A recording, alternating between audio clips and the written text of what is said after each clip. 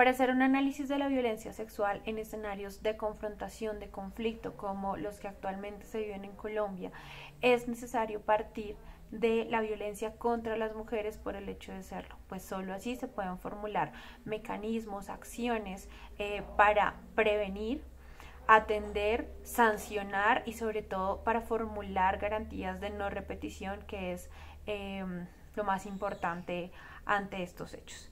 De acuerdo con diferentes instrumentos de derecho internacional de los derechos humanos encausados a los derechos de las mujeres, como lo son la CEDAW o la Convención Belém do Pará, la violencia contra las mujeres es una manifestación de la discriminación en su contra. Es que aquellas no pueden disfrutar en pie de igualdad de sus derechos y libertades fundamentales. La violencia sexual parte de las relaciones desiguales que a nivel social existen entre hombres y mujeres, donde aquellas son vistas como objetos del deseo masculino o como su propiedad eh, y no como sujetas de derechos. Entender este contexto es importante porque es lo que permite que se puedan tomar medidas para erradicar la violencia sexual. La violencia sexual no va a desaparecer de las protestas, de los escenarios de confrontación, de los escenarios de conflicto e incluso no va a ser dejada de ver como un arma de guerra mientras que las mujeres no sean vistas como sujetas de derechos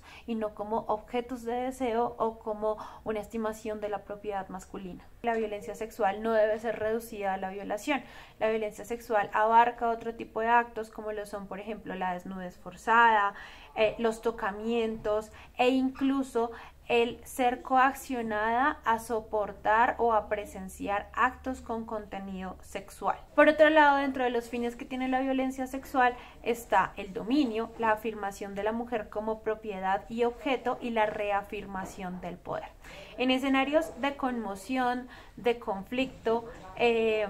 la violencia sexual opera como un mecanismo para castigar a las mujeres y se agudiza por la falta de garantías que históricamente se ha observado para investigar y sancionar las violaciones en su contra. La violencia sexual opera eh, como una forma de relegar a las mujeres de los espacios que se consideran que no son para ellas, entre estas los espacios públicos. Así que muchas veces se eh, cuestiona a las mujeres por el hecho de haber participado en una manifestación, en un escenario incluso de confrontación y se llega incluso a tratar de eh, justificar el hecho de que exista violencia sexual, porque el Estado tiene la obligación de proteger eh, tiene la obligación de garantizar y en estos casos tiene la obligación de tomar medidas inmediatas y urgentes para erradicar la posibilidad de que exista violencia sexual ejercida por alguno de los funcionarios que eh, están para garantizar la seguridad eh, y el orden.